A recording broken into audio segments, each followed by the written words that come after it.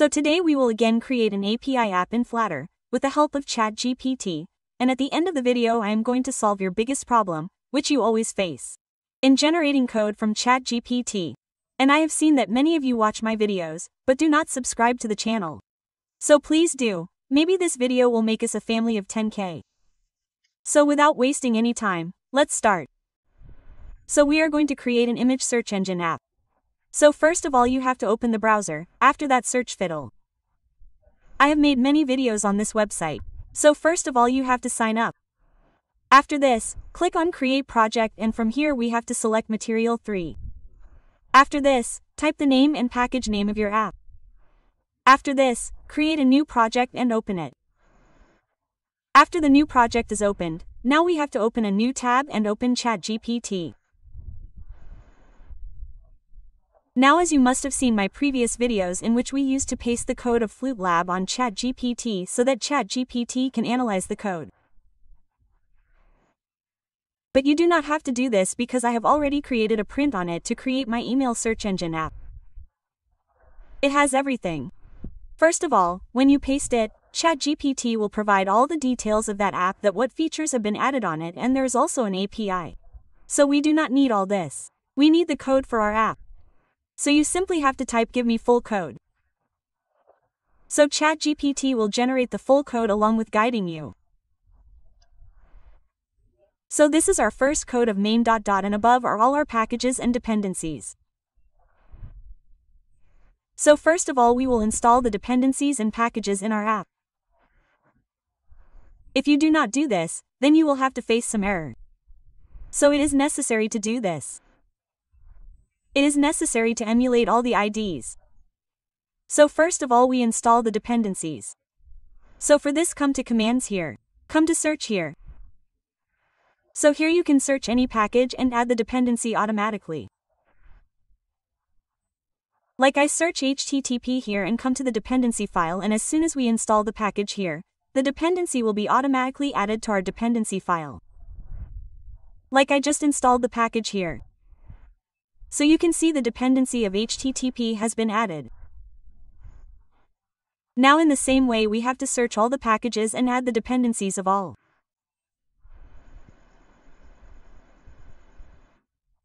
After adding all the dependencies, scroll down and simply copy the code of main dot dart from here.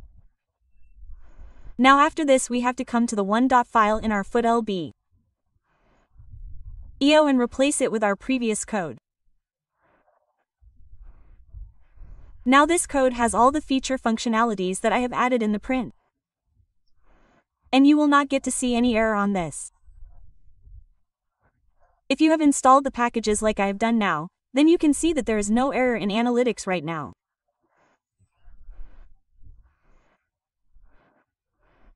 Meaning all our packages are installed and done correctly and if you scroll down then you will get to see the URL of the website where you have to apply the API and if you scroll a little further then you will get to see where we have to apply the API of this website.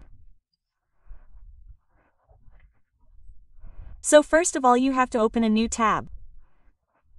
Now we will go to this website to get the API so that we can run our image search engine.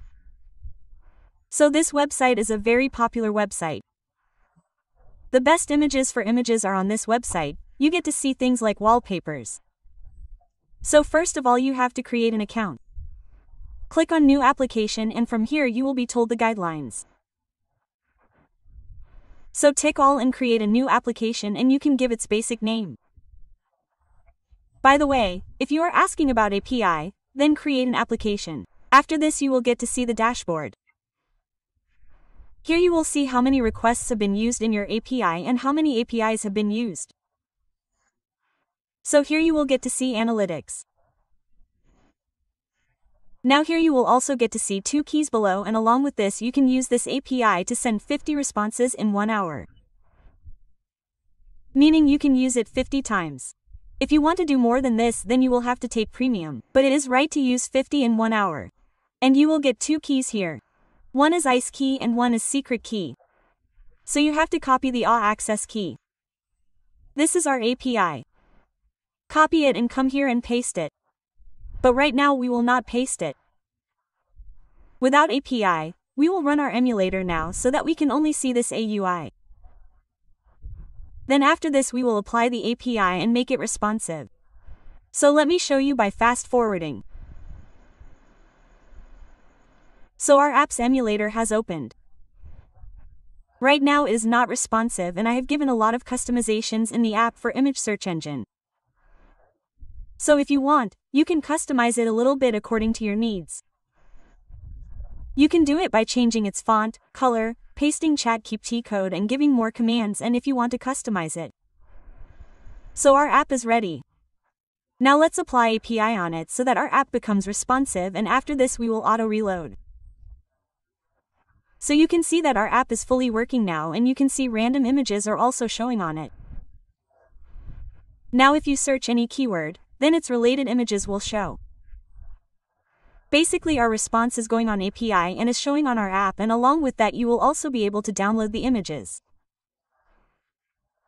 If you search any keyword, then you will see its related images and if you want to customize it, you can do it on the app. I will provide its source code and its project file to you and such apps run on very demanding sites on Play Store. So you can earn a lot by applying ads on it. And you can customize many more by applying ads on the home screen. By the way, I made this app myself. So, I had put only basic features on it. Now let's talk about how we can build our app. So, there are many features in this ID to build. And there is also 64 for 32-bit Android. And by the way, if you do not understand, then select Android All. It will be for all Android devices. And if you want to do it for Apple devices, then you can run it on them by selecting iOS debugging and can also create a website. And I told you if you have seen the previous video ID that in this ID you can create multiple awesome websites from a single code. So you can do it on whichever you want. So I am going to do it for Android. So let's select all and build the Android APK file. So I will show you by first forwarding.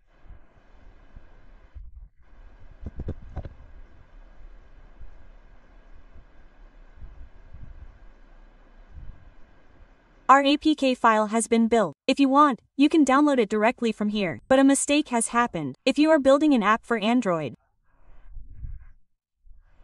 so here first of all you have to come to the debugging folder. Here you will find the manifest file. Here you will get a permission. So simply copy it. By the way, I had already done it. So if you have not done it once again, then do it. You simply have to create and open your main manifest file. Sorry, you have to open it. You have to open it. After this, paste this permission under the application tag there. This is basically the permission of the internet. After this you have to download your APK file. Also by scanning the QR. So your problem of generating code from ChatGPT has been solved. You just have to copy my prop and paste it on your ChatGPT. After which the code will be generated in front of you so that you do not have to generate the code manually and you will not have to face the problems of which package to install or not. You can get the complete code source code by pasting everything in one prop. And you will get the source code and props of this app on Telegram. I hope you found the video informative. If you found it innovative then please do not forget to press the like button and if you want to see more such content then please do subscribe. We are very close to 10 subscribers. So see you in the next video. Thanks for watching.